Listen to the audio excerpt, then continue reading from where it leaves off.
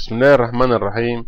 النهاردة هنشرح chapter 1 في مادة CS 140 أو Java 1 طبعا ال part الأول من المادة هو إن إحنا نتعلم أساسيات لغة ال Java لأن المادة لها تكملة CS 141 في المستوى الرابع.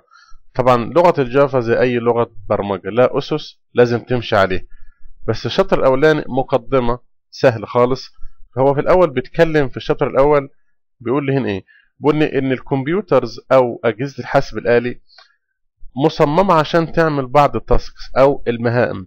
وكل task لها برنامج خاص بيها. بيقول لي إن ال different tasks المهام المختلفة لها different programs يعني كل task أو كل حاجة أنا عايز أعملها بعمل لها برنامج خاص بها تعريف ال program أو البرنامج.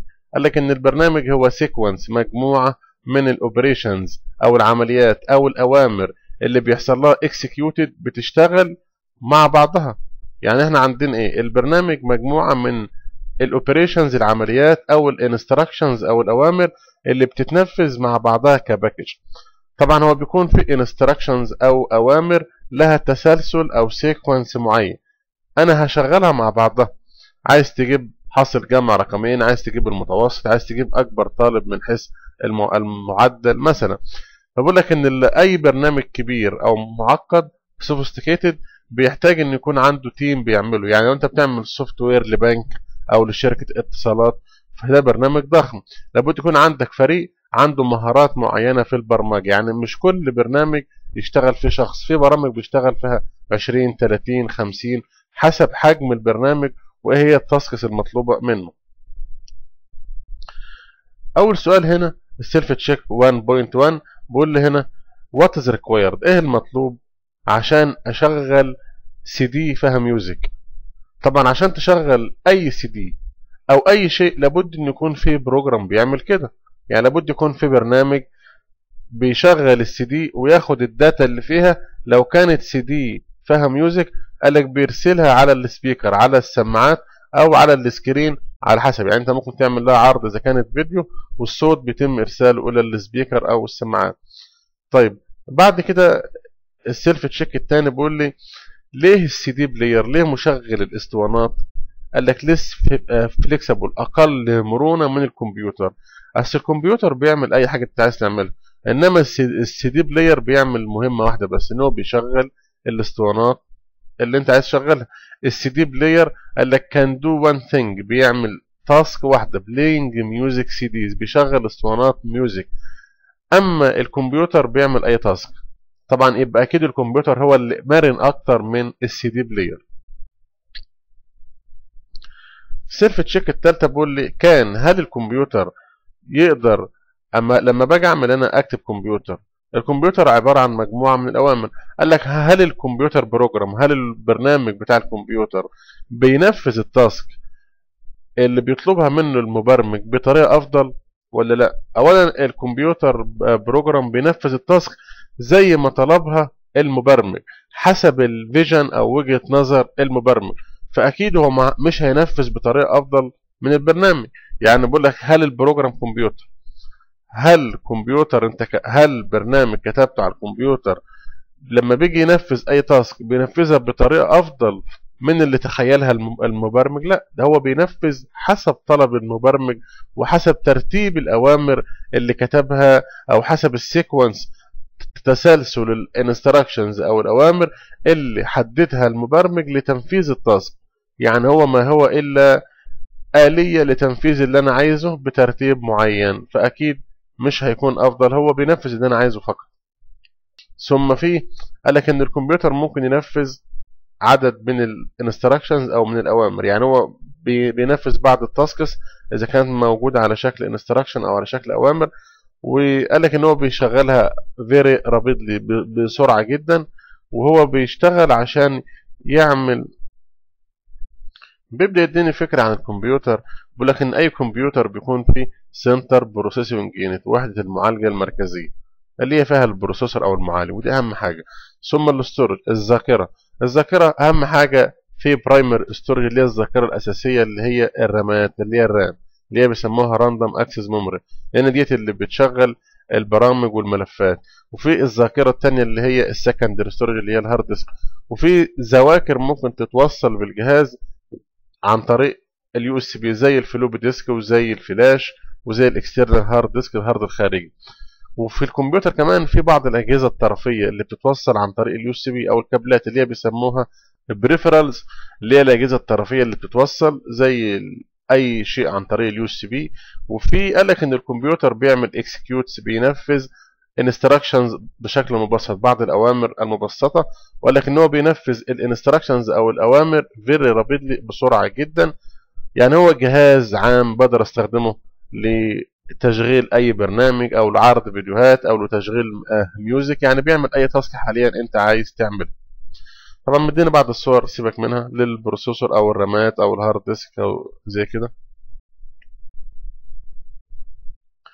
هنا بيقول لي فين ال program أي برنامج stored بيتخزن لما ما بيكونش شغال. يعني بيقول لي where is a program stored فين بيتم تخزين البرنامج في حالة إن هو إيه it's not running إذا البرنامج شغال شوف خد بالك إذا البرنامج شغال بيبقى شغال عن طريق الرامات.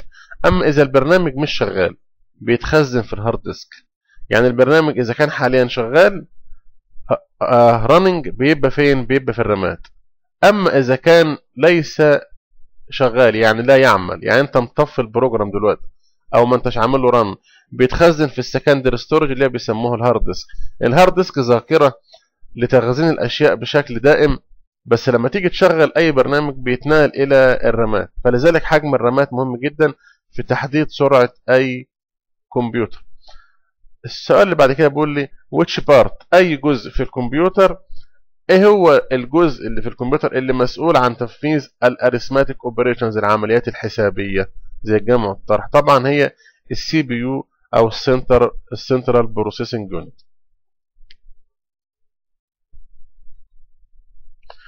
هنا بقى دخل على حاجة اسمها ال machine code. ال machine code هي لغة ولكنها بتعامل ب zero 1 بتعامل مع ال processor بس. قال لك إن ال machine code بتعتمد على ال CPU type على نوع المعالج أو نوع ال processor. ال machine code دي لغة بتتع... بتعتمد على نوع المعالج الموجود في الكمبيوتر بتاعك. قال لك إن ال instruction set مجموعة الأوامر بتاعة ال Java يعني أنت لو كاتب برنامج Java في حاجة اسمها Java virtual machine ال Java virtual machine هي اللي بتاخد البرنامج بتاعك وتشغله وتعمل له executing تنفيذ بناء على نوع المعالج. يعني أنت ممكن تكون كاتب برنامج على على Windows وتاخده وتشغله على Mac أو على Android. طبعا ده لازم يكون ال Java virtual machine عنده قدرة لتشغيل البرنامج على أي operating system وحسب نوع المعالج. فال Java virtual machine بتختصر ب JVM قال لك إن هي لغة بتحاول تعمل loading أو تنفيذ مثلا sequence من ال machine instruction زي كده. خلي بالك إن هي بتتعامل أو ال machine language بتتعامل مع الذواكر أو الأماكن ال location في الذاكرة مباشرة. يعني مثلا ما أقول له load the contents of memory location 40 لو الذاكرة عبارة عن صندوق زي كده كل مكان له رقم. المكان ده رقم 40 مثلا.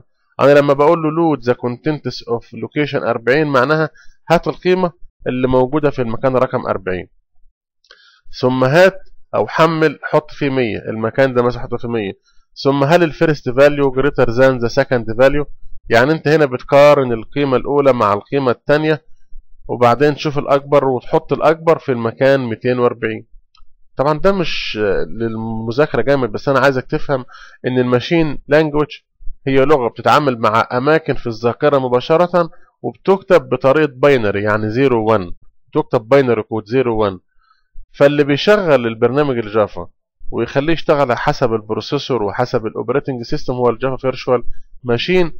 اللي هنا بيهمني ان يكون عندي إن أنا بتعامل مع ال locations في الذاكرة مباشرة. طيب لو أنا عندي مجموعة من ال machine instruction يعني بقول لك هنا إيه إن ال machine code بتاخد الأوامر وتحولها إلى أرقام بالشكل ده. يعني هي أنت كاتب مثلا إيه؟ اجمع X زائد Y هي حولت ده إلى أو إلى أوامر بتعتمد على ارقام مثلا 41 و 21 و40 ممكن يكون قصده إيه؟ المكان رقم 21 خزن فيه 40 مثلا أو العكس أو المكان 40 هات القيمة المخزنة فيه. يعني أنت هنا إن بقول لك إن ال machine instructions الأوامر اللي بتعتمد على ال machine encoded بتكتب as numbers بالشكل ده. ففي حاجة اسمها compiler مع ال Java في compiler ال compiler بيحول ال Java اللي هناخدها بعد كده اللي هي عبارة عن high level language لغة ال Java high level يعني لغة لها شكل. لو انت شفته تقدر تفهمها بمجرد الشكل. قال لك إن هي إيه؟ ال compiler بيحول ال high level language إلى machine إلى machine يعني إيه؟ إلى binary أو أرقام أو 0 1 يعني أنا بكتب كود بس أنا ما ماليش علاقة هو بيتحول إزاي بقى؟ وبيحوله إلى machine code اللي هو 0 1 أنت ما يخصكش أنت أنت أهم حاجة تعرف تكتب high level اللي هي إيه؟ Java أو سي بلس بلس أو سي شارب أو اي سي بي دوت نت ايا كان اللغة اللي أنت عايز تعرفها بعد كده. ال self check واحد سبعة بيقول لي هل أي person هل أي مستخدم للكمبيوتر بيستخدم ال compiler؟ لا ال compiler ده فقط موجود لإفادة المبرمج مش لأي شخص أي user عادي واحد فاتح Word أو فاتح صفحة ويب هو ماله ماله ال compiler؟ ال compiler اتحط عشان يفيد المبرمج فقط عشان يحول ال high level programming instructions الأوامر التي كتبت بلغة برمجة مستوى أول أو أعلى إلى machine code يعني مش أي شخص يهم وجود ال compiler فقط المبرمجين. هنا بقول إن ال Java programming language لغة البرمجة اللي اسمها Java. قال لك إن هي simple لغة سهلة لأنها لها instructions أو لها أسس هتمشي عليها. و safe آمنة لأنها فيها طرق لعمل حماية للبرنامج أو للكود. والأهم في رأيي إن هي platform independent يعني إيه الجملة دي؟ يعني هي لا تعتمد على ال platform على ال operating system على نظام التشغيل. إزاي برضه أنت لو كاتب برنامج على ال Windows تقدر تشغله على Apple على اي OS تقدر تشغله على Android على Linux. يعني هي تشغيلها لا يعتمد على كتابتها فين. في لغات برمجة لما بتكتب على Windows البرنامج بيشتغلش على Windows مثلا. فهي هنا لا تعتمد على نوع ال platform قصده لا تعتمد على نوع ال operating system هي بتكتب مرة واحدة write once ولكن run anywhere بتشتغل في أي مكان. وكمان قال لك إن هي rich library طبعا اللغة بتتحدث سنويا. ففيها مكتبات فيها أوامر جاهزة فيها أكواد جاهزة أنت ممكن تستفيد منها فيها إمكانيات كتيرة جاهزة تساعدك. كمان قال لك إن هي ممكن حاليا وده موجود بكثرة بتستخدم لبرامج الإنترنت. أي صفحة ويب دلوقتي غالبا بتعتمد على ملفات ال Java. طبعا حتى بيقول لي إن في حاجة اسمها ال applet قال لك ال applet هي نوع من برامج ال Java بس خلي بالك ما بتشتغلش إلا على صفحة ويب بس. يعني في في ال Java أنواع كتيرة من البرامج. ممكن أكتب برنامج وأشغله على ال Windows. ما يحتاجش إنترنت. في حاجة اسمها ال applet. عشان تشغلها لازم تحطها داخل صفحة ويب. ولازم يكون ده browser بيدعم تشغيل ال applet كمان. يعني هو بيديلك sample بس على أنواع البرامج اللي ممكن أكتبها في لغة ال Java. هنا بيديني إصدارات ال Java. ال Java بدأت ال version 1 في 1996 ثم بدأت تتحدث إلى الآن مش لحد 2010 بس إلى الآن شغالة. كل سنة أو كل إصدار جديد بيكون فيه حاجة جديدة حاجة زيادة يعني option زيادة أو إمكانيات زيادة. هنا بقول لي what are the two most important benefits ما هي أهم ميزتين موجودين في ال Java؟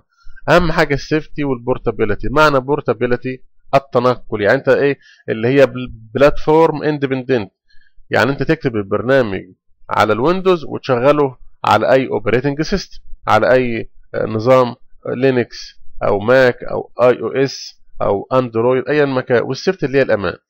طبعا ال portability أنا شايف إن هي أهم حاجة. دي, دي ميزة مش موجودة في كل اللغات إن أنا أكتب في مكان وأشغل في operating system تاني خالص. ال self check 1.9 بيقول لي how long does ما هي المدة اللي ممكن اخدها to learn عشان أتعلم ال Java library هي ال Java library حاجات بتيجي إصدارات من من اللغة اللي أنشأت ال Java اللي هي كانت Sun وحاليا Oracle يعني Oracle حاليا هي الشركة المالكة لمين؟ لل Java.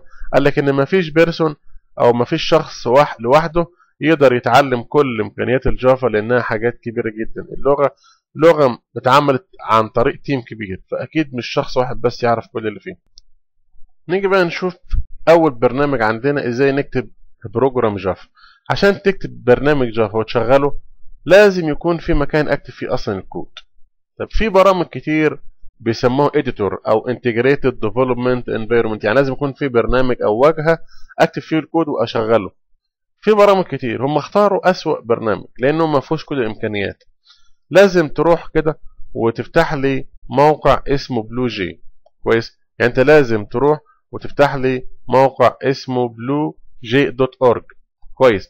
هتلاقي هنا إيه؟ Windows انت طبعا Windows أو Mac أو على حسب. هتختار الرابط ده اللي إحنا هننزل حاجة اسمها BlueJ BlueJ ده برنامج بيخليني أكتب وأشغل البرامج بتاعة ال Java ولازم ينزل حاجة اسمها جي دي كي. جي دي كي هي package ضرورية لتشغيل برامج ال Java. فانت هتاخد الإيه؟ هتاخد الرابط ده. كويس؟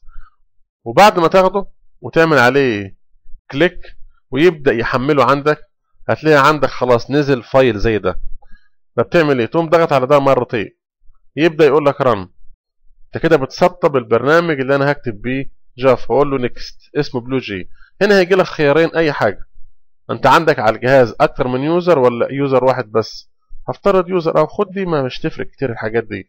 next هيقول لك عايز أحط لك هنا آه نوع الملفات وينشئ يحطه في في المنيو ويعمل لك desktop برضه next ولا تسال في الحاجات دي. next كله next install يبدأ ينزل لك برنامج اسمه BlueJ طبعا في برامج أحسن منه كتير لأنها. بتساعدني وبتجيب لي الأخطاء بشكل أسهل. بس طبعا ده اللي علينا في المنهج. فالبرنامج هيبدأ يتسطب كويس. بعد البرنامج ما ينزل على الكمبيوتر عندك تبقى انت جاهز انك تكتب أكواد Java وتعمل لها run طبعا بعد ما خلص تحميل بيجي يقول لك finish كده انت عندك إيه؟ برنامج اسمه BlueJ تشغله إزاي؟ هتروح على ال start أو على ال desktop هتلاقي عندك برنامج اسمه BlueJ هتشغله. كويس. وهتلاقيه موجود على ال desktop عندك ليه رابط بالشكل ده أو ليه shortcut بالشكل ده. يبقى أنت تاني لو أنت ما لقيتش البرنامج اولا لو رحت على ال desktop هتلاقي هنا إيه؟ desktop هتلاقي هنا برنامج أيقونة اسمها BlueJ. اللي هي دي. كويس. ادي إيه؟ ده اللي هو الأيقونة بتاعته. تقوم ضغط عليه مرتين يبدأ يشتغل وتشوف انت كده إيه أصبح عندك برنامج اسمه BlueJ طبعا هو دايما هيبدأ فاضي ما هوش يعني هيبدأ لك زي كده. عند أول أقول له هنا close كده هيبدأ زي كده. ما انت لسه ما كتبتش كود خالص صح؟ أول ما يبدأ قدامك زي كده تقوم انت قايل له project new project انت بتعمل project أو مشروع ليك أنت عشان تكتب فيه الأكواد. تحفظه في أي مكان انت عايزه. كويس؟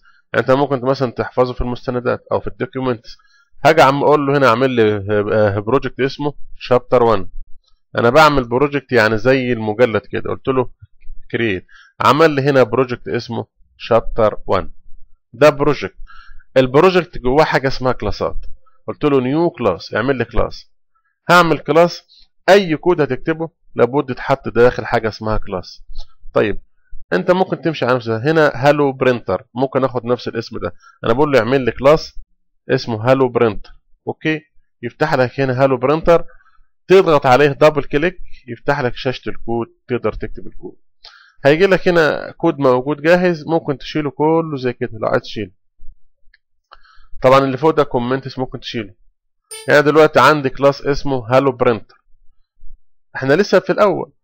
عشان تكتب كود قبل ما تكتب ممكن تقول له tools أو options حاجة اسمها preferences تقول له هنا إيه؟ لو أنت عايز تكبر الخط الخط هنا 14 ممكن تخليه 17 أو 16 زي ما أنت عايز. تقول له okay. كويس. دايما بنكتب حاجة اسمها class. إحنا عندنا class اسمه hello print. أي كود في الجافا لابد يكون تحت class. لازم. ال class هو اعتبره ال file. هنيجي نقول له public ودي حاجة دايما هنعملها. public static void main دايما في أي برنامج جافا عشان تشغله في دالة اسمها main طبعا دي دالة موجودة جاهزة بس هو المفروض في برامج بتكتب لك ده جاهز بس ده برنامج لازم أنت اللي تكتب فيه. ما كده ده كده إيه؟ class اسمه hello printer في دالة اسمها main. دالة ال main هي الدالة المستخدمة عشان تقدر تشغل أي برنامج جافا. إذا مش موجودة دالة ال main ديت مش هيشتغل أو مش هيطلع output الدالة ما هي إلا كود الدالة ما هي إلا كود ليه بداية؟ curly وينتهي ب curly زي كده. يعني أنا عندي class كبير اسمه hello printer في دالة اسمها main؟ دالة ال main دي جزء من ال class. دالة ال main هي جزء من ال class. بس هل مهم؟ آه. ما هي الدالة دي اللي معناها شغل الكود اللي هنا وطلع الاوب من غيرها مش هيطلع اوب طيب أمر الطباعة عندنا أول حاجة. أمر اسمه system وال S capital واللغة هنا case sensitive حساسة لحالة الحروف. system dot out dot print في دالة اسمها print ودالة اسمها print line لو أنا جيت قلت له هنا اطبع لي كلمة hi مثلا. طبعا أنت لما تيجي تطبع message بتبدأ ب double quotes وتنتهي ب double quotes اللي هتطبعه لازم تحطه محصور ما بين علامتين التنصيص double quotes وتقفل ال quotes و semicolon. أي أمر لابد ينتهي ب semicolon كده ده اي أنت عملت برنامج فيه طباعة كلمة hi. لما تخلص تقول له compile. compile بقى يبدأ يعمل check وهل في أخطاء ولا مفيش إذا مفيش أخطاء يقول لك هنا إيه؟ no syntax error طول هنا ما جاب لك no syntax error يبقى أنت شغال تمام ما عندكش مشكلة. طيب وبعد ما قال لك no syntax error مفيش أخطاء. تقول له close أصبح فيه class جاهز أهو. لو عملت click يمين عليه قلت له void main معنى void main يعني إيه؟ يعني شغله. okay كده؟ يجيب لك على الشاشة كده؟ يطبع لك كلمة hi. طب أنت عملت run تيجي تعمل clear عشان لما تيجي تعمل run تاني بعد كده يبدأ من جديد. يبقى أنا عندي هنا بقى أول برنامج بيطبع لي هنا hello comma world يعني بيطبع لي hello world ككلمة واحدة. فال output على الشاشة هيكون بالشكل ده. عادي ما انت ممكن تعمل ده ما عندكش مشكلة. لو قلت له هنا إيه بقى؟ اطبع لي كلمة hello world خلي بالك hello world هنا هيطبعهم لك جنب بعض. hello comma مسافة world هو هياخد ودي حاجة مهمة هياخد اللي انت كاتبه بين علامتين التنصيص ويطبعه على الشاشة. يعني هنا إيه؟ هنا في علامتين التنصيص single double quotes وفي double quotes أي كلام انت كاتبه هنا أي كلام اي مكان هياخده ويطبعه. يعني هنا ده يعتبر رسالة أو تسميه message أو تسميه string المهم اللي أنت كاتبه بين علامتين التنصيص هو ده اللي هيتم طباعته في line واحد. كويس؟ في line واحد. طيب كده عرفنا إيه؟ إن أمر الطباعه system dot out dot println. واللي ما بين علامتين التنصيص هيتم طباعته على الشاشة. أي أمر آخره semicolon ما عدا الأوامر اللي فوق دي يعني public class ده ما بقاش هنا semicolon ولا بعد الدل. ال semicolon بعد الأوامر اللي موجودة داخل داله ال main كويس؟ غالبا معظم الأوامر بعد كل instruction أو أمر دايما في semicolon لو أنت جيت حطيت كده فوق قبلها علامتين backslash دي معناها comment comment يعني تعليق. تعليق يعني إيه؟ تعليق معناها إن اللي بعدها مش كود يعني هو بيكون شرح. مثلا أقول له هنا display message أنا أنا بحط شرح بس مش كود comment عشان اللي يجي يشوف الكود بعد كده ال comments بتساعد اللي يقرأ الكود ان يفهم أنت عايز تقول إيه. كويس؟ طيب. هنا بيرجع يقول لك إيه؟ إن الكلاسات هي الشيء الرئيسي لكتابة كود Java أي برنامج Java لابد يكون في class. Public class ثم اسم ال class. كلمة public class دي كلمات reserved معنى reserved كلمات محجوزة يعني ما ينفعش تستخدمها في أغراض تانية. هي بتنشئ بتستخدم كلمة class بتستخدم لإنشاء class كلمة public معناه إن ده class عام متاح للاستخدام. الكود اللي أنت كتبته ده يسمى ال source file ال source file قال لك لابد أي ملف كود اللي هو بيسمى source file يحتوي على one public class. يعني ما فيش أي برنامج إلا لابد يكون فيه one public class. اسم ال class هو اللي بيكون بعد كلمة class. طيب خلي بالك أنت لما تيجي ال class ده يعني دايما بعد كلمة class اسم ال class. لما تيجي تحفظه هو عمل إيه؟ هو حفظ لك ملف بنفس اسم ال class. يعني أنت لو كده إيه قلت له هنا مثلا لو أنت خدت close كده دلوقتي انت عندك class اسمه Hello Print لو قلت له هنا open open project زي كده. ال project اللي انت عملته اللي إحنا اللي سميناه chapter 1 ده جواه ملف اسمه Hello Printer يعني إيه الكلام ده؟ يعني هو بيسمي الملفات بنفس أسماء الكلاسات. هو كده عمل لي ملف اسمه Hello Printer امتداده dot Java ما هو كل ملف ليه extension ليه نوع. ده بيكون امتداده dot Java. هو كده أي كود هتكتبه هيكون dot Java. زي الوورد دوت دي أو سي أو دي أو سي إس على حسب بقى الإصدار بتاع ال Office. فهو كده إيه اخذ ال class ده وحوله إلى ملف. الملف ده بقى يسمى ال source file. يعني ال source file أو ال source code هو الملف اللي بيكون فيه الكود اللي إحنا عملناه. طبعا لما بتعمل كده لابد بعدين انك تقول له compile عشان تقدر تحوله إلى ملف جاهز للتشغيل. لازم ما يكونش عليه العلامات اللي هي الخط الرماد اللي كان ظاهر. هنا بيقول لي every java application أي Java application عشان تشغله لابد يحتوي على دالة اسمها ال main. دالة ال main لما تيجي بيقول لك لما البرنامج starts يبدأ. الأوامر اللي في ال main هي اللي بتشتغل. داله ال main هي الداله الرئيسية للتشغيل بدون main مش هيشتغل البرنامج أو مش هيدي output لأن هي داله ال main هي الرئيسية لتشغيل أي برنامج. ان ال first line أول أمر اللي هو ده قال لك ده ما يعتبرش كود ده يعتبر comments comments يعني تعليق. تعليق يعني أنا بشرح شيء معين عشان أي شخص يجي يقرأ الكود بعد كده يكون أي human reader أي واحد يجي يقرأ الكود يقدر understand يفهم أنا عايز أقول إيه. يعني أنا دايما في الواجبات أما يكون في assignment حاولوا تحطوا comments أو تعليقات عشان تعمل تغيير من طالب إلى آخر. ال comments أنت بتشرح. يعني بتشرح تقول ده أمر هدفه كذا. بقول لك إن داله ال main لابد تبدأ باثنين curly brackets يعني لابد في أقواس أكتب جواها الكود. بقول لك إن each statement أي أمر لابد ينتهي ب semicolon الفصل المنقوطه وأمر الطباعة عندنا system.out.println أو print بينطبع اللي ما بين علامتين التنصيص اللي ما بين ال double quotes لابد في double quotes عشان أطبع أطبع message أو رسالة. طيب خلي بالك إن إحنا قلنا إيه؟ system.out.println println دي method ده الطباعه ال method هنا إحنا هنا عملنا حاجة اسمها method call استدعاء. يعني إيه استدعاء؟ انت عايز تطلب من شيء يتنفذ. ما هو call يعني إيه؟ call معناها روح نفذ. نفذ مين؟ دالة الطباعة اللي اسمها println. الدالة ديت بتاخد الكلام اللي هنا وتطبعه على الشاشة في line زي كده.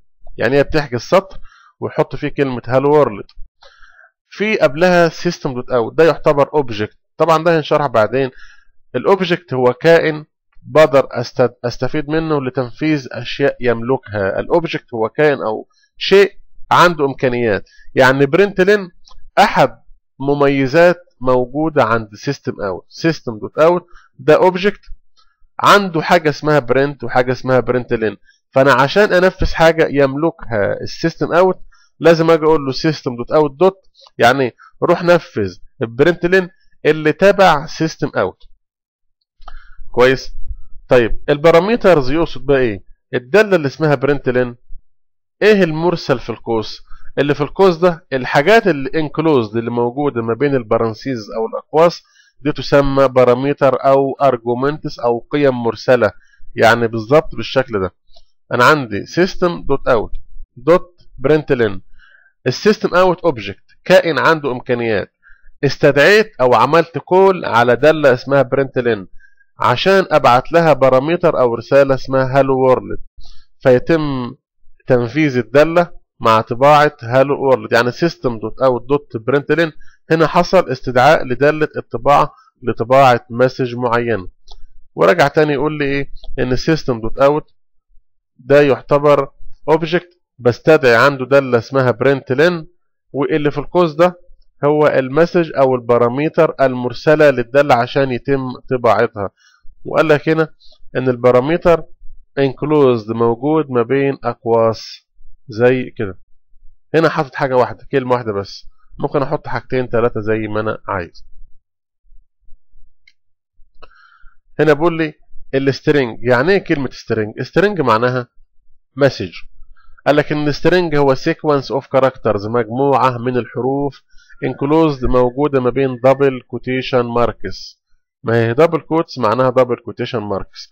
يعني إذا أي حاجة ما بين علامتين التنصيص اللي يطلق عليهم double quotation marks أي حاجة هنا تسمى string. string يعني إيه؟ كلمة كلام حروف محمد أحمد CS أي حاجة.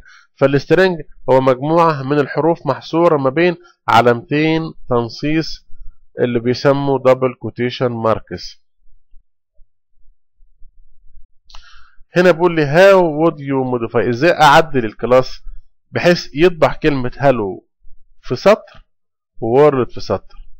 أنا عايزه بدل ما يطبع لي hello world في line واحد يطبعهم لي تحت بعض. طيب هتقول له هنا system dot out dot println ليه println معنى println اطبع لي كلمة hello. كويس؟ وخلاص وانزل السطر. ما هو هيطبع حاله وانزل السطر. ثم قلت له ارجع اطبع مرة تانية. system dot out dot println واطبع لي كلمة world. كده انت عندك كم أمر طباعة اتنين. كل أمر له دور. الأمر الأولاني هيطبع لك كلمة hello في line الأمر الأولاني هيطبع لك إيه؟ ده هيطبع لك كلمة hello و comma. بالتفصيل هياخد ده. ثم معنى ln يعني كمل في سطر جديد مش تكمل في نفس السطر. ثم اطبع لي كلمة world ثم انزل سطر. لأن هنا ln ln معناه إيه؟ line بعد ما تطبع بعد ما تطبع انزل. طبعا لأن أنا خلصت فالنزول مش هيفرق معايا. المهم إنه أول سطر هيطبع hello وينزل ثم الثاني هيطبع world وينزل جديد فيكون إيه؟ يكون ال output عبارة عن سطرين كل واحد فيه كلمة. فيكون الأول بالشكل ده. طبعا لازم تجرب بإيدك إزاي. تعدل تعمل compile يقول لك no error تعمل close وبعدين تقول له click يمين void main OK يشغل ويجيب لك الأول. لازم تجرب بإيدك. مش تتفرج على الكود وتكتب على ورق. لازم تجرب بإيدك. ال self check رقم واحد 11 بيقول لي هل ال program continue to work هل البرنامج هيستمر يشتغل؟ لو إحنا عملنا اميت لغينا ال line السطر اللي بدأ باتنين backslash طبعا هيستمر. ليه؟ أي line قدامه اتنين backslash ده يعتبر تعليق. يعني يعني ده مش كود. ده كتب عشان المبرمج يفهم إيه اللي أنا أقصده من الكود؟ عشان أشرح الكود. فال comment ليس له تأثير. شلته سبته جيت تعمل compile وتعمل run مش هيأثر على البرنامج. ده موجود فقط عشان المبرمجين يفهموا بعض إيه اللي إحنا نقصده من ال code. self check 1 12 بيقول لي what does the following set of statements print? السطرين دول هيطبعوا إيه على الشاشة؟ أول واحد خد بالك system.out.print مفيش هنا println كويس؟ هيطبع لك إيه؟ اللي ما بين ال double quotes يعني هيطبع لك على الشاشة my lucky number is. يبقى أول حاجة هيطبع لك my lucky number is. وبعدين ثم انتهى الأمر. يروح لأمر تاني system.out.println اطبع لي اللي في القوس. فهو يروح يجمع الأرقام مع بعض 3 و4 و5 12 فيطبع لك 12 خلي بالك هو بيكمل على اللي قبله. الدالة الأولى اسمها print معنى print اطبع لحد ال double quotes فيطبع لك my lucky number is هل ينزل سطر؟ لا لأن print مش println ثم system out print اطبع حاصل الجمع. 3 و4 أولا ديت أرقام مفيش قبل منها double quotes مفيش ديت. فيعمل جمع. 3 و4 و5 12 خلي بالك ال 12 هيطبعها بعد إيه؟ كلمة is على طول مباشرة. واحد يقول لي ما هنا ln. ln معناها بعد ما يطبع 12 ينزل سطر جديد. بس أنا خلصت. فال ln ديت ملهاش تأثير لأن تأثيرها على أمر الطباعة اللي هيجي بعد كده هيكون في line جديد. ln تأثيرها إن أنا بعد ما أطبع أنزل عشان لو أنا هطبع تاني أطبع في line جديد. فاذا ال output هيكون بالشكل ده. خلي بالك هو بقول لك المفروض تحط space ما بين is وبين 12 المفروض يعني أحط إزاي؟ يعني المفروض هنا في الطباعة أحط هنا مسافة من الأول في كتابة الكود قصده يعني. عشان أطبع مسافة بين الرقم وبين الكلمات. هنا بقول لك editing Java program أنت عشان تكتب Java program قلنا بقى إيه؟ لابد يكون عندي editor editor يعني برنامج زي BlueJ عشان أكتب فيه كود طبعا في حاجة اسمها JDeveloper في Eclipse JCreator في NetBeans في برامج كتير. هم اختاروا BlueJ قال لك أنت عشان تكتب وتعدل وتشتغل على ال Java لابد يكون عندك editor برنامج ليه واجهه أقدر أعمل أكتب وأعدل وأعمل modify لل code ولكن لغة ال Java case sensitive حساسه لحاله الحروف يعني إيه بتفرق الحرف capital أو سمول. يعني ال lower أو ال أو ال upper بتفرق. بتفرق دايما فيه. بيقول لك إزاي تعمل compiling وتعمل running تشغيل لبرنامج Java؟ أي كود أنت هتكتبه ده يسمى ال source code. ال compiler قلنا هو المترجم. ال compiler بيعمل إيه؟ ال Java compiler. translate بيحول الكود بتاعك اللي انت كتبته بامتداد اسمه dot java dot java. ده ملف فيه الكود. امتداده أو نوع dot java. يسمى ال source code. ال compiler بيحوله إلى حاجة اسمها class class file. يعني بياخد الملف ده ويحوله إلى امتداد تاني اسمه dot class. ال Java compiler بياخد الكود أو ال source code اللي هو امتداده dot java ويترجمه إلى style أو شكل تاني. الشكل التاني ده تفهمه ال Java virtual machine ال Java virtual machine هتفهم الأوامر اللي ال compiler حولها إلى امتداد dot class يبقى ال compiler بيترجم من dot java أو ال source code من dot java إلى dot class اللي بتكون دي أوامر بيفهمها ال Java virtual machine قال لك ال compiler ما بينتجش class file إذا كان في أخطاء يعني هو هي ال compiler هيطلع لك إيه؟ dot class file بس لو كان الكود في error مش هيحصل. لابد الأول يكون الكود ما فيهوش أخطاء. قال لك إن ال Java virtual machine هي اللي بتقدر تاخد ال instructions أو الأوامر اللي في ال class file وتقدر تعمل لها starting وتقدر تعمل لها run يعني انت اي كود هتكتبه لما بتيجي تعمل compile يحوله من dot java إلى dot class. يبقى اذا ال compiler بيحول الكود بتاعك من dot java إلى dot class يفهمه ال Java virtual machine لو انت فتحت المجلد اللي انت كاتب حافظ فيه الكود شوف خلي بالك ده إيه؟ ده الملف الاولاني اللي هو dot java. ده ال code. ال code ده تقدر تعمل له click يمين وتفتحه عن طريق ال Word أو عن طريق ال Notepad. زي كده ادي الكود ده اللي هو بيسموه dot java أو ال source code في ملف تاني اسمه dot class. ال dot class ده بقى اللي هو إيه؟ ده اللي هو ال compiler حو ال compiler حول من dot java إلى dot class. يعني عملية تحويل من ال source code إلى dot class ده دور ال compiler. بس خلي بالك الملف اللي اسمه dot class لو أنت جيت تفتحه مش هتفهم إيه اللي جواه لأنه هيكون هيكون عبارة عن إيه؟ عن binary عن binary حتى هو هنا ما هوش مديني خيارات فتح باستخدام أو open with لو أنت جيت تفتحه أصلا هيقول لك هتفتحه إزاي؟ ده ملف اللي هيفهمه ال Java virtual machine مش أي editor يعني هو حتى مش عارف يفتحه. ده أنت ممكن تفتحه عن طريق إنك تفتح مثلا Notepad تجرب يعني كده. بعدين لو قلت له كده هات الملف ده كده. شوف جاب لك إيه؟ جاب لك حاجات أنت مش فاهمها. binary يعني اذا dot class ده اللي يفهمه فقط ال Java virtual machine يبقى ال compiler بيحول من dot java إلى dot class وال dot class ده نوع الملف اللي هيشتغل بقى على أي operating system يعني ال dot class ده أقدر بقى أشغله على Android أو iOS أو على Windows أو Mac أو غيره. طبعا هنا مدي لك طريقة تشغيل البرنامج على شاشة الـ DOS. ما أنا ممكن أشغل البرنامج عن طريق إن أنا أعمل click يمين على برنامج اسمه BlueJ طبعا ده الأفضل. أو إن أنا أروح على الـ DOS وأشغله. يعني أروح كده على شاشة اسمها CMD اللي هي الـ DOS وأشغل البرنامج. بس طبعا دي حاجة صعبة. يعني سيبك منها. ولا تحاول فيها أساسا. هنا مدي لك إن هو كتب الكود أهوت. حتى هو هنا كاتب الكود على برنامج تاني اسمه Eclipse Eclipse طبعا أفضل من BlueJ بكتير جدا.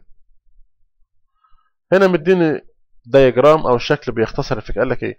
أول حاجة أنت بتكتب الكود على برنامج editor يعني BlueJ مثلا أو حتى Notepad البرنامج اللي أنت هتكتبه ده يسمى الـ source file. اللي بيكون بقى إيه؟ امتداده.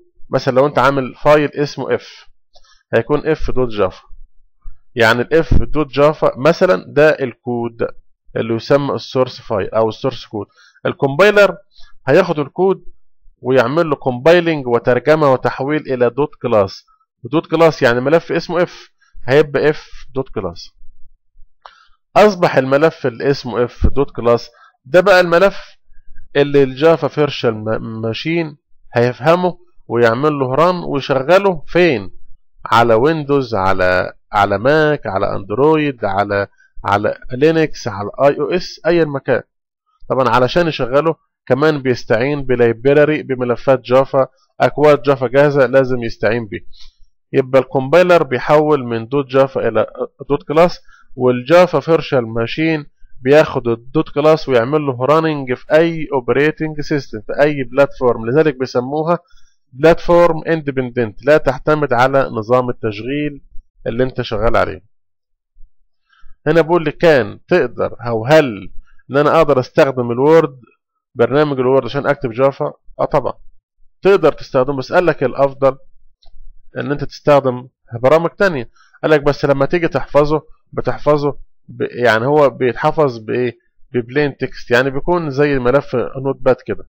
بس طبعا ده مش يعني الافضل دايما تستعين ببرامج في برامج بتكتب يقول لك الخطأ فين ويجيب لك عليه لون أحمر ويجيب لك تحت منه line. حتى BlueJ ما فيهوش كل الإمكانيات ولا في ربعها أساس. هنا السؤال 14 بيقول لي What do expect إيه اللي أنت تتوقعه أو تتوقع أشوفه لو أنا جيت أعمل loading ل class file في الـ text editor يعني لما أنا جيت من شوية أفتح الملف اللي هو dot class إيه اللي شفته؟ شفت إن في حروف مش مفهومة في كلام binary في كلام مش مفهوم. لما تيجي تفتح الملف اللي اسمه dot class على برنامج زي الـ Word أو زي Notepad إيه اللي هتشوفه؟ قال لك أنت هتشوف حاجات غير مفهومة لأن دي ملفات موجودة عشان الـ Java Virtual Machine يقدر يشغلها على الـ operating system اللي عليه. فقال لك إن دي بتكون الملف اللي بيكون فيه غالبا حاجات مشفرة أو binary number لما تيجي تكتب كود احتمال يطلع أخطاء. أخطاء يعني إيه يعني error يعني مثلا لو أنا فاتح كود زي كده لو أنا شلت الـ semicolon دي جيت أعمل compile هيجي يدي لك خطأ يقول لك إيه؟ semicolon expected كويس؟ ما ده خطأ. الخطأ اللي بخلي البرنامج ما يشتغلش خالص ما أنت جيت تعمل compile خلاص هو مش شغال. خلي بالك. يعني أصبح هنا إيه؟ ظهر لك هنا إيه؟ ظهر لك خطوط كده بالعرض كده وجالك هنا علامة زي كده. ده برنامج مش شغال. يعني هو كده حاليا مش مش هيشتغل معاك. أي برنامج فيه أخطاء بتخليه ما يحصلوش compiling يعني إيه ما يحصلوش compiling يعني ما يحولهوش إلى dot class. طالما ما تحولش إلى dot class مش هيشتغل. قال لك إن الخطأ اللي من النوع ده بيسموه compile time error compile time error خطأ. إيه هو الخطأ ده؟ إن أنا violation بكتب حاجة تتعارض مع أسس أو rules أو قواعد اللغة. الـ Java لها قواعد إنه كل أمر آخره semicolon الـ compiler إذا عمل detect أو اكتشف أخطاء من نوع compile time error هتخلي البرنامج ما يحصلوش compiling يعني إيه ما يحصلوش compiling يعني مش هيتحول إلى dot class طالما ما حصلوش compile ولم يت... ولم يتم تحويل الـ source إلى dot class يبقى في أخطاء من النوع ده يبقى هو مش هيشتغل. أما في حاجة اسمها run time error معنى run time error إن البرنامج ما فيهوش أخطاء وشغال. كويس؟ بس إيه؟ لما تيجي تشغله وهو شغال ممكن يحصل خطأ. زي لما تيجي تقسم على صفر. أنا ما أعرفش اللي أنت هتدخل صفر في المقام. فلما أنت ك user جيت تشغل ودخلت صفر فجأة توقف البرنامج. يعني البرنامج اللي بيتوقف وهو شغال بيسموه runtime error قال لك البرنامج هنا بيتوقف عن العمل وهو شغال لأن في حصل خطأ بيسموه runtime error زي القسم على زيرو. زي كده. أما أجي أقول لك system dot out dot print line اطبع hello ثم اطبع له واحد على zero. هو ده أمر كود عادي مفيش مشكلة.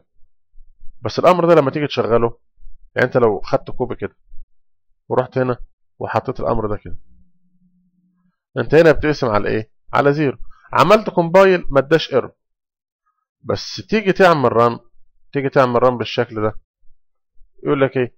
هيدي لك error. لأن أنت هنا إيه؟ بتحاول تقسم على إيه؟ على zero. لأن أنت هنا بتحاول تقسم على zero على zero والقسم على zero بتدي error أساسا. يعني أول خطأ حصل لما جيت تشغل البرنامج بالشكل ده. قال لك إيه هنا إيه؟ قال لك هنا تحت كده قال لك إن في خطأ حصل إن في عملية division by zero وهنا البرنامج ما اشتغلش. ولا ادى output ده هو ادى error بالأحمر كده. كويس؟ فاذا إيه؟ ما ينفعش أقسم على zero هنا إيه؟ بس ده خطأ. خلاك تعمل compile عادي. سابك تعمل compile وتحول ال Java dot Java إلى dot class بس لما جيت تعمل run ما اشتغلش. ده بيسموه runtime error في خطأ ثالث بيسموه logic error ال logic error إن البرنامج شغال وبيدي output بس output غير منطقي. يعني أنا قلت له أنا عايز أجيب حاصل جمع أربع أرقام. أنا كتبت المعادلة غلط فجاب لي حاصل ضرب أو أي حاجة. فهموا إن معنى logic error إن هو شغال بس بيدي output غير متوقع أو غير المطلوب. هنا بقول لك إن ال error الأخطاء عشان تتعامل معاها في استراتيجي للتعامل أو في خطة أو plan عشان تتعامل مع الأخطاء. أول حاجة أنت بتحاول قال لك learn تتعلم أو تقرأ عن الأخطاء المشهورة أو ال common إزاي إن أنا أتجنبها أو أعمل لها avoidation أتجنبها. يعني بحاول أقرأ عن الأخطاء الشهيرة أو الأخطاء اللي بتحصل بحاول أكتب كود يمنع حدوث الأخطاء.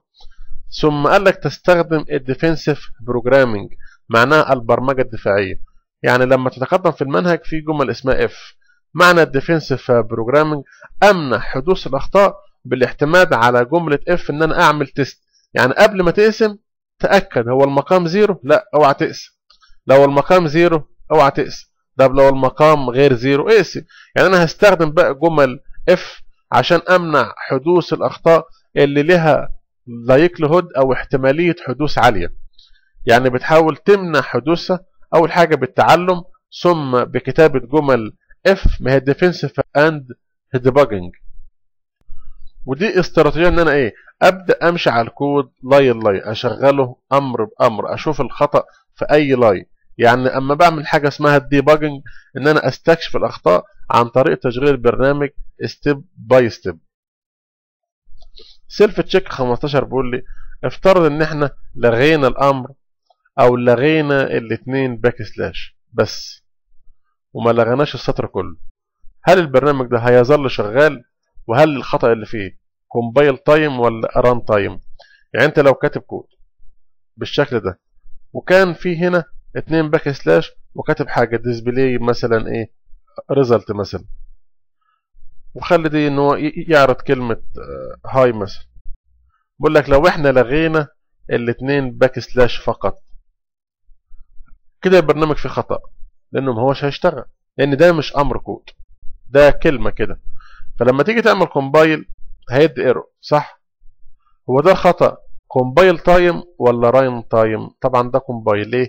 ان ده خطأ منع حدوث أو تحول البرنامج من ال source إلى ال dot class يعني قال لك إن في خطأ. ده compile time error لأن ال compiler مش هيتعامل مع أمر اسمه display ما عندوش أمر اسمه display يعني الكود أصلا غلط. طالما الكود هو اللي غلط يبقى ده خطأ من نوع compile time error compile time error runtime error معناها إن هو شغال ولكن في التشغيل توقف فجأة أو حصل له stop فجأة. programming غالبا جمل if وقال لك كمان إنك تطبق حاجة اسمها testing نشوف ال self check 1.16 بيقول هنا لما أنت تكون بتستخدم الكمبيوتر. وبعدين وأنت شغال على برنامج والبرنامج ده حصل له crash معنى crash يعني هو بيتوقف فجأة أو بيحصل له hang معنى hang إن هو مش بيستجيب لأي مدخلات أو input منك. بقول لك اذا المشكلة هتكون compile time error ولا runtime error طالما البرنامج شغال وبيتوقف فجأة يبقى هو حصل له compilation يبقى مفيش compile time error مفيش أخطاء في ال compilation إنما ده هيكون runtime error runtime error لأن البرنامج اشتغل وحصل له compile وتحول إلى .class وجينا نشغله اشتغل وبيتوقف فجأة. طالما خطأ بيتعلق بالبرنامج وهو شغال على طول هيكون runtime error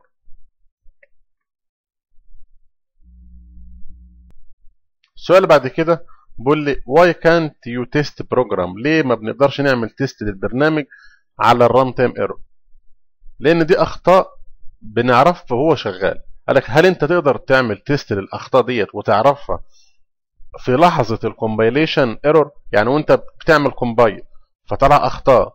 الأخطاء تسمى compile time هل تقدر في نفس اللحظة تعرف ال runtime طبعا لا لأن دي أخطاء بتحصل وهو شغال. لما ب... لما باجي أعمل compilation ال compiler بي... بيكتشف الأخطاء اللي بتعوق تشغيل البرنامج وبتعوق تحويله إلى .class إنما ال runtime error بتتعرف وهو شغال. يعني أي برنامج ال compile عملية ال compiler بيحوله من .java إلى .class فبيكتشف ال compiler error اللي هي بيسموها compile time error. لو في error مش هيتحول إلى .class اذا مش هيشتغل. فإزاي أعرف إن أنا بقى ال runtime error؟ ال runtime error بتتعرف وهو شغال في مرحلة ال runtime فقط. دخل بقى في حاجة اسمها algorithms ال algorithms قال لك إن ال algorithm أنت قبل ما تكتب الكود ممكن تفكر في كتابة الحل على شكل جمل English تسمى algorithm ال algorithm قال لك إن هو sequence مجموعة من الخطوات unambiguous غير غامضة executable يعني ممكن أحولها إلى برنامج تنفيذي terminating لها نهاية. قال لك إن هو مجموعة من الخطوات الغير غامضة اللي ممكن أحولها إلى برنامج اللي لابد تنتهي بعد عدد معين من الأوامر. فيها بصف فكرة الحل. زي فكرة زي دي مثلا. لو أنا عندي مجموعة من السيارات وأنا عايز أجيب السيارة الأقل تكلفة فيه هنبدأ نشوف ال algorithm اللي على أساسه. هنختار السيارة الأقل total cost من حيث التكلفة. قال لك for each car هنا أنت بتكتب جمل لكل سيارة. قال لك compute احسب ال total cost احسب التكلفة. إزاي؟ أول حاجة هنحسب الوقود المستهلك سنويا annual fuel consumed. قال لك إن الوقود المستخدم سنويا هو إيه؟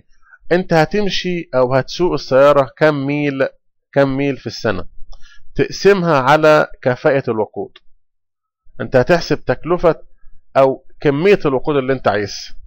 لو أنت هتمشي 1000 ميل على وقود 91 أو 95 فأنت هتحتاج كام لتر؟ أنت كده إيه؟ أنت كده حسبت أنت محتاج كام لتر؟ صح؟ اضرب عادي اللترز اللي انت حسبتها في سعر كل لتر. يعني انت عايز تمشي في السنة 1000 ميل. ال 1000 ميل ده من وقود 91 أو 95 طلعوا محتاجين 40 لتر أو 20 يعني انت هنا حسبت أنا محتاج كام لتر بنزين في السنة. اضرب في سعر كل لتر. طلعت تكلفة البنزين أو الوقود. اضرب التكلفة ديت في إيه؟ في 10 قال لك دي بقى تسمى ال operating cost دي معادلة. ال operating cost تكلفة التشغيل هي 10 في تكلفة الوقود. اجمع تكلفة التشغيل مع سعر الشراء ال purchase price جبت إيه تكلفة السيارة. السيارة دي بتكلفني كذا. أنا بقى هجيب ال total cost للسيارة الأولى والسيارة الثانية وهبدأ أقارن بينهم.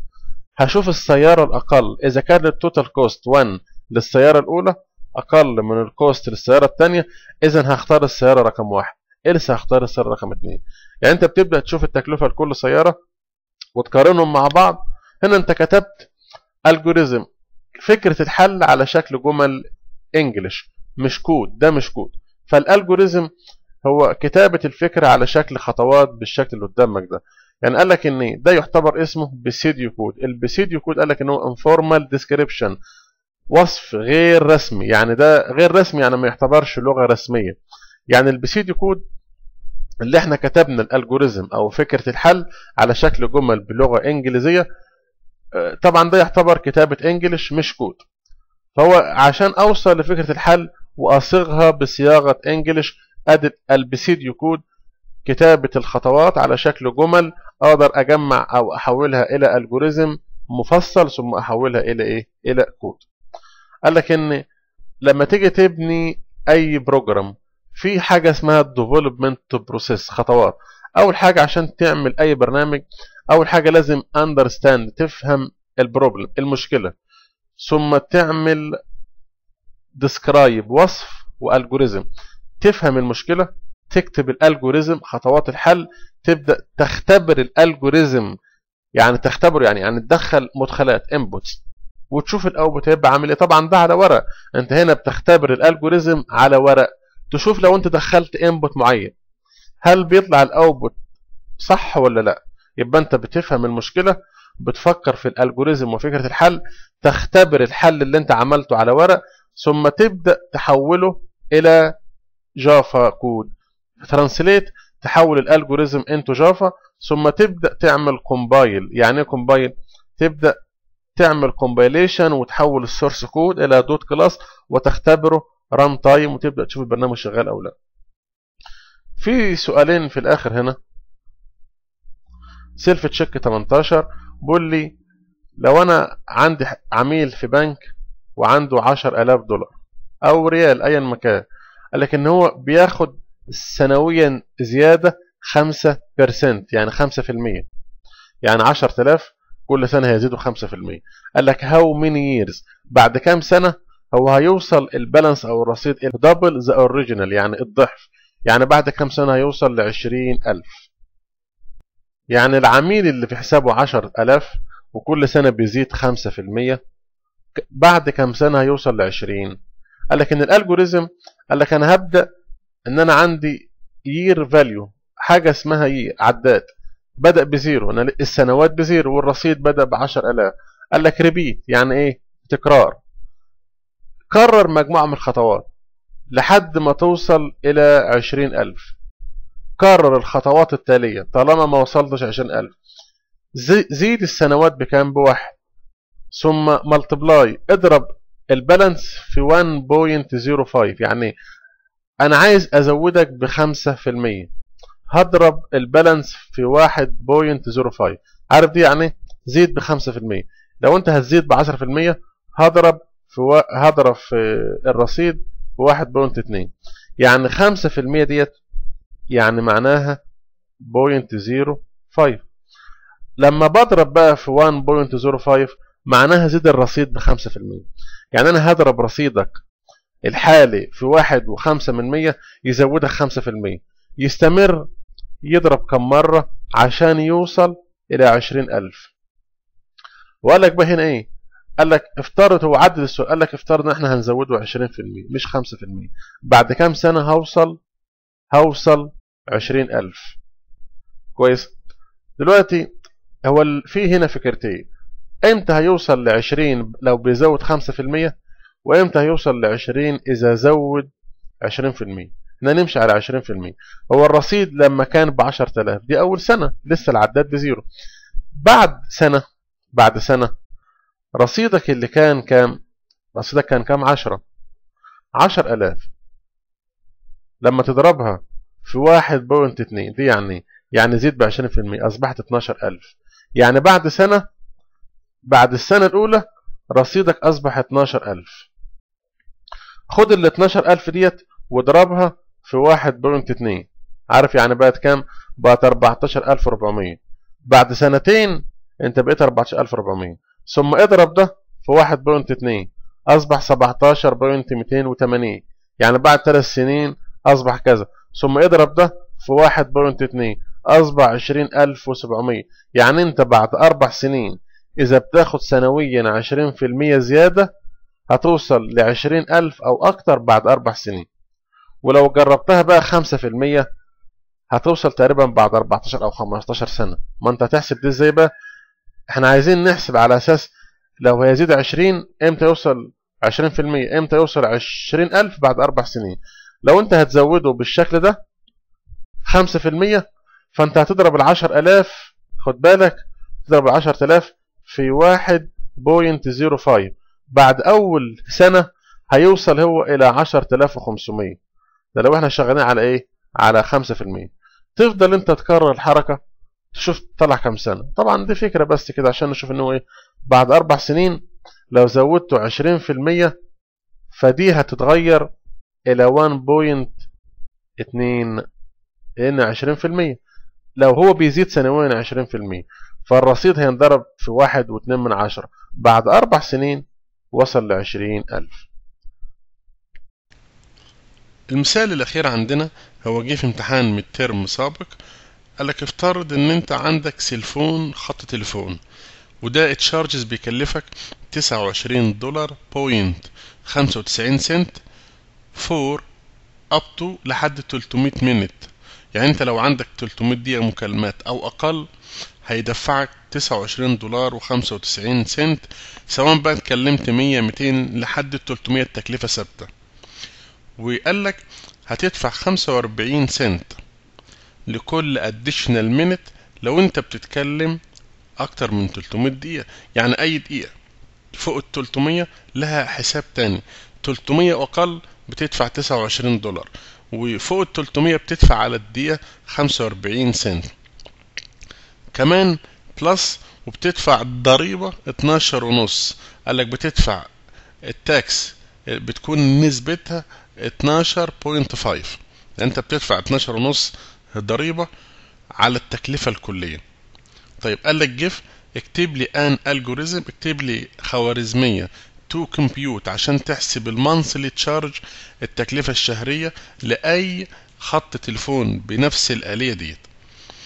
دلوقتي إحنا قلنا انت عندك مكالمات 300 دقيقة وأقل لها تكلفة ثابتة.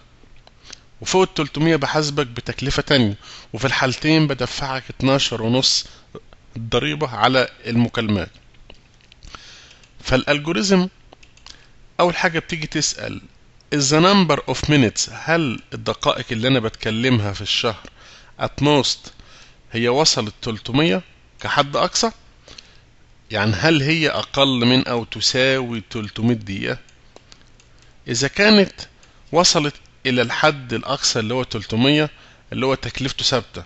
هل هي حدها الأقصى 300 في الشهر؟ if so يعني if yes معناها إيه؟ معناها the answer is أو الكوست هتكون كام؟ هتكون 29.95 دولار. طيب أنت بتدفع على ال 300 دولت المبلغ ده. أمال ليه بضرب في الرقم ده؟ ما هي دي التكلفة الشهرية لشخص بيتكلم 300 أو أقل بس قال لك فوق انت عندك 12 ونص ضريبة. 12 ونص كام؟ ضريبة. دلوقتي بطريقة تانية. انت بتدفع 29.95 ده المبلغ الثابت. زائد أنا عايز أجيب 12 ونص في المية. يعني 12.5 على 100 الضريبة ديت بتتحسب إزاي؟ ان أنا بضرب 12 ونص على 100 ضرب 29.59 تعرف إيه اللي حصل كده؟ 12 ونص على 100 في 29.95 ده جاب لك الضريبة. الضريبة ديت اللي هي مثلا لو أنت بتتكلم ب 30 دولار 30 دولار هينضربوا في 12 ونص على 100 هيجيب لك الضريبة بتاعتك اللي هتكون تقريبا 3 دولار وكسر. هجمعها على المبلغ الثابت. هو عمل معادلة تانية. بس لازم تكون فاهم ديت. 29 و 95 دي التك... التكلفة الثابتة. و29.95 ضربتها في 12 ونص على 100 جبت الضريبة. تجمع دول مع بعض يجيب لك ال total هو عمل طريقة تانية. إزاي؟ دلوقتي ال 12 ونص على 100 اللي هي إيه؟ لما تقسم ده بقى الحاسبة معناها كام؟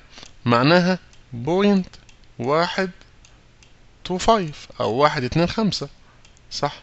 ما هي دي ال 12 ونص على 100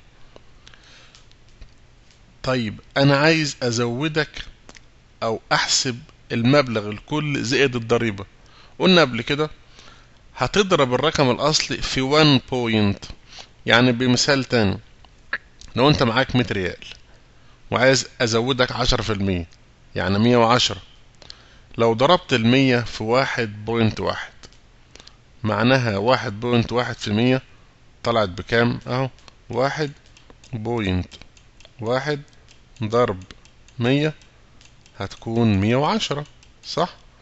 آه يعني معنى كده إن أنا لما أضرب في واحد point الرقم اللي بعد ال point هو الضريبة والرقم اللي قبل البوينت اللي هو واحد هو الرقم الأصلي. فالضرب في واحد point واحد اتنين خمسة اللي هو نتيجة قسمة ال 12 ونص على المية معناها ده الضريبة. خلاص؟ يعني لو بقول لك زوده ب 50% تضرب في 1.5 30% 1 بوينت كام؟ 3 برضو الضريبة هنا 12 ونص على 100 صح؟ يعني إيه؟ يعني 1.125 طيب ده بالنسبة لو الشخص ده بيتكلم 300 حد أقصى أو أقل. if not معناه إن هو مكالماته أكبر من 300 طيب هنيجي نحسب compute the difference هنجيب الفرق.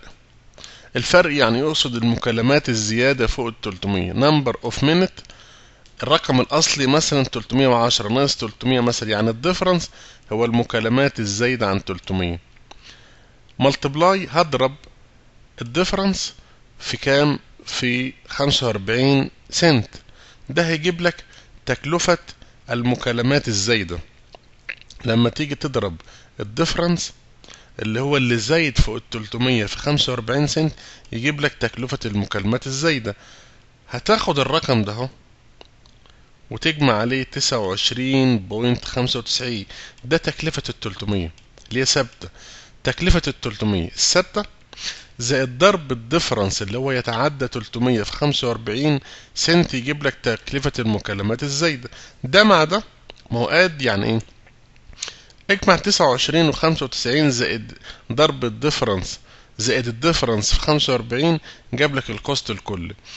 multiply اضرب ال total ده في نفس المعادلة في واحد point واحد اتنين خمسة يعني يجيب لك التكلفة ومضافا إليها نسبة اتناشر ونص في المية. اللي هي ال tax.